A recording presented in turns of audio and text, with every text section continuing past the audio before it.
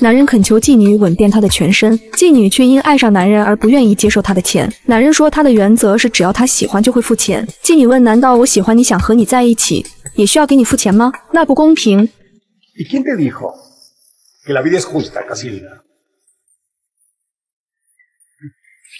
男人是知名记者，至今还在撰写报纸专栏。他终身未婚，唯一的一次婚礼也在娘家人发现他在婚礼当天睡在妓院后泡汤。之后，他每日流连在各种风尘女子之中，直到他九十岁才发现自己一生虽然有过五百个女人，却依然不知真爱的滋味。他给失去联系二十多年的老鸨打去电话。提出要找一个处女陪他度过九十岁生日，而老头口中疯狂的爱之夜，其实是在两人平静的睡眠中度过。清晨，老头在女孩枕边放了钞票后，道了声永别，他放下纱帘，拿起衣服离开了房间。他发誓再也不会再见女孩，女孩则在屋内听得清清楚楚。老头回到家里，继续写他的专栏。他和女仆谈起自己一生从未有过爱情，女仆却伤心地说：“我有过，因为你，我哭了二十二年。”老头说：“也许我们可以是对美好的夫妻。”女仆则说：“你别再讨好安慰我了。二十二年来，你每月找我一次，你也许不相信，我依然是处子之身。”老头无法面对痛苦的女仆，他顿感内疚。当他推开门时，看到了满屋子的鲜花，女仆还给他写了一个卡片，祝他长命百岁。这时，老鸨打来电话说：“你怎么走时都没有叫醒他？一个女人永远不会原谅那个连她初夜都不以为荣的男人。她只是用假装睡觉掩饰自己的恐惧而已。她宁愿认为你是无能的。”老鸨承诺一定不会让这件事泄露出去，他会让女孩把钱还回来。老头则让她别折腾，女孩确实不错。报社给老头庆祝九十岁生日，他们感谢老头多年来为报纸写的专栏。老头最近从他小时候开始写回忆录，一直写到现在，引起了很大的轰动。读者特别好奇一个九十岁老人的生活状态，社长拜托他一定坚持写下去。老头颤悠悠地离开，骑车的女孩看到了老头，她推着自行车好奇地跟在老头身后。到家后，老头又接到老鸨的电话，他看到了报纸上老头的连载。他说：“原本我以为你已经是一百岁，而不是九十岁，我很惊讶，你看起来还不错。我有个礼物要给你。”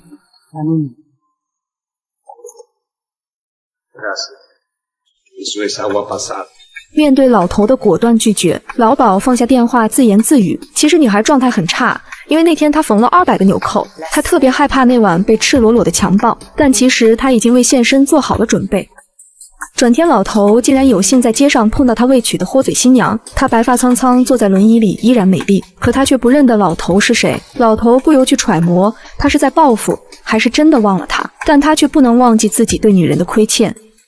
女孩又在街道碰到老头，他的手串掉在地上。老头叫她，女孩却连忙吓跑。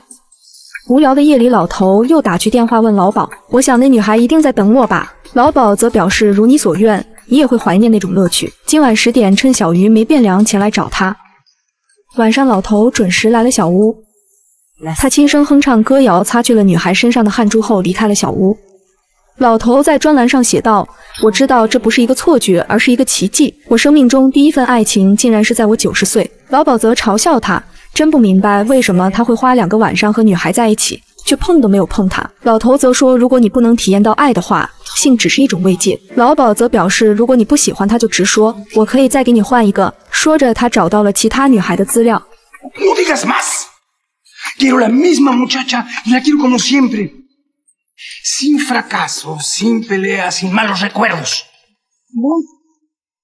老鸨断定老头一定是得了老年痴呆。老头拿出了母亲祖传的耳环送给女孩，女孩脸上满满的色彩，让他无法察觉她的微笑。他一点都不想吵醒女孩，他担心两人面面相觑的尴尬。他发觉自己爱上了女孩，因为他开始经历和她有关的痛苦和幻想。他仿佛看到女孩帮他整理书籍，甚至女孩独自在屋里翩翩起舞。在一起的愉悦令他分不清现实和幻想的界限。之后，老头每日都会写封情书倾诉他对女孩的爱恋。他要出版社直接将自己的手稿印刷在报纸上，这样才能完美的表达自己的全部爱意。老鸨问老头为什么不娶女孩，这对于他来说更合适。但老头却故意岔开了话题。工厂里，主管每日给工人们读报纸上老人的专栏。老头给女孩起了新名字，叫加迪娜。他说，上了年岁的人最懂得如何去爱，因为他们无所牵挂。而对于那些涉世未深的年轻人来说，他们还需挂念工作和钱财。每天听着老头吞吐在报纸上炙热的情话，女工们纷纷猜想，究竟谁是加迪娜？她一定不在这个城市中，因为如果在大街上看到对方的话，会直接给他看，而不用发表在报纸上。此时，女孩却默默不语，不敢发声。女孩的心中也对老头产生了莫名的依赖，殊不知接下来会发生巨大的灾难，将他们分离。